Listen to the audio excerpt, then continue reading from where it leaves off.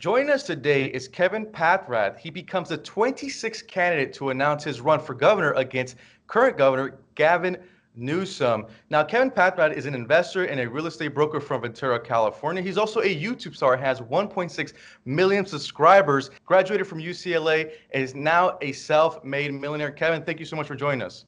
Thank you so much for having me. I'm excited. Now, uh, Mr. Paffrath, can you really quick just tell our viewers more about yourself and why you decided to run. Absolutely. So I go by Meet Kevin on YouTube, but yeah, my official name is Kevin Paffrath. So Meet Kevin Paffrath is how we're campaigning, and uh, we have uh, a lot of folks uh, in the YouTube community, in the uh, community that I live in in Ventura, California, uh, and throughout parts of uh, California, who reach out to me saying they are sick and tired of homelessness getting worse and worse despite us spending more money in the state, taxes going up despite services getting worse, traffic getting worse, schooling getting worse.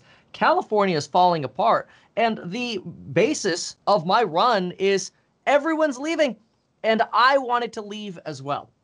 But I want to give California that shot and, and run to try to fix it because I love California. California has given me so much. But it's just really sad what's happened to California over the last 20 years. And the face of that has been Gavin Newsom, who's been one of the, the top dogs in California for the last 17 years. And it's time to end his reign. Now, Mr. Paffrath, I do want to play just a quick clip from audience from, from the video you uh, released last night announcing your run for governor. We'll play that and then we'll, we'll come back.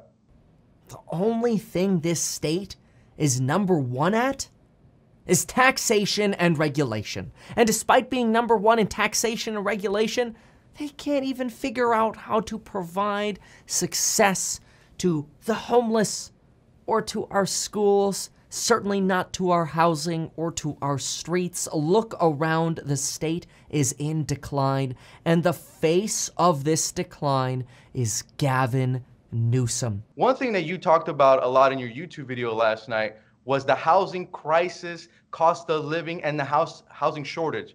How will you address that head on with policy?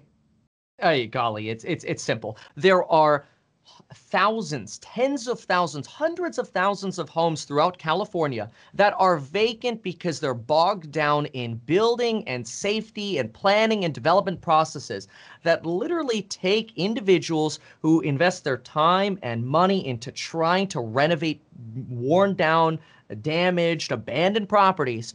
It can take them 18 to 36 months to get a job done. That's unacceptable the first thing we need to do is make our current homes livable. We already certify architects and engineers and contractors in our state. We license them, we regulate them, we require them to take liability and carry insurance. That they have no power to start a remodel.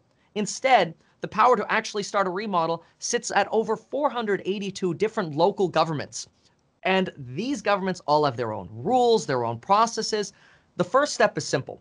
We're going to take statewide control of the building and safety department everybody who's working in building safety is still going to have a job, but they're actually going to have power to make meaningful change in their communities. The people at the building and safety departments, they don't want this this nonsense that they're dealing with either. They're stuck and bound by the rules. As a state, we solve building and safety, and we're able to start approving developments. We're able to start approving remodels. We're able to get out of the way of construction being built. Then all of a sudden, we go from instead of building 80,000 homes a year in California to building 500,000 homes a year in California.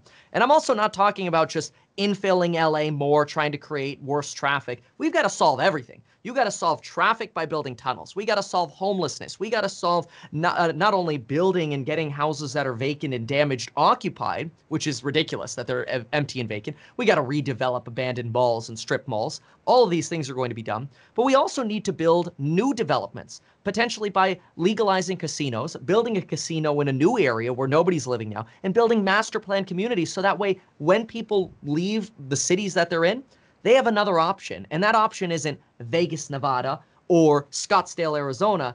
It's a different place in California. We need people back in California. We don't need people leaving California. But I don't blame them for leaving because Newsom's failing Californians. Hey, Mr. Paffrath, you put out a video last night going over your 20 part policy plan and how it would benefit the state of California. Just for our viewers right now, can you hmm. highlight some of those policies that you included in your 20 part plan and how it would benefit the state of California? Absolutely. The biggest one is working with the legislature to remove the California income tax on the first $250,000 of folks' earnings. We're going to make up that deficit not only with a transition bond, but by streamlining housing and having a small tax on individual houses that will be way lower than the income tax people are spending. So we know we are giving net benefits. But what we're going to do is we're going to align California's incentives. Rather than giving California a slush fund of income taxes, we're going to have a small 10 to $50 a month, depending on income and properties owned fee on houses. And then we're actually going to build more houses. So we're aligning California's incentives. We're going to, within the first 60 days, end homelessness. Existing people who are homeless will be housed within 60 days. Whether we have to call in and pay for the National Guard, I will make that happen within the first 60 days. But then we're going to actually solve the root causes of homelessness.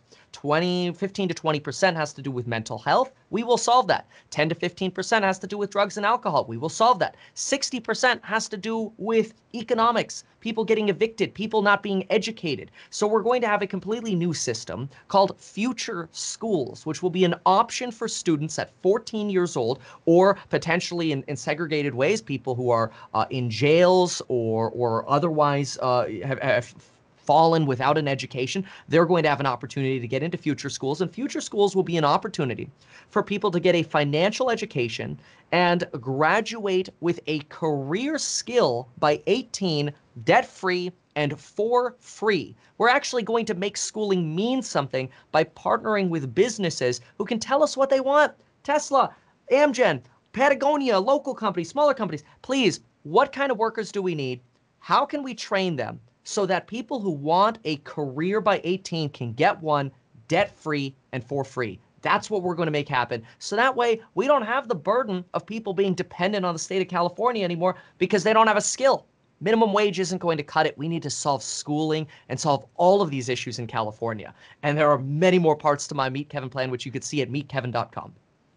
And one of the top issues that still remain for California parents is education and school choice. I've been interviewing parents this past year on how the lockdowns have affected them and the mental health of the children. And one thing that I've kept hearing a lot that parents don't feel that they have enough power when it comes to education or school choice. Too much power is left uh, to the teacher unions.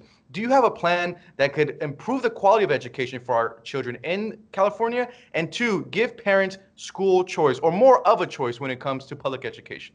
Well, we're absolutely going to have more of a choice because folks are going to uh, love that future schools are going to be a combination of community colleges and high schools. And the goal is that 70% of our schools in California follow a future schools model. So that way, if somebody still wants to go in the traditional path, they can. They have a choice.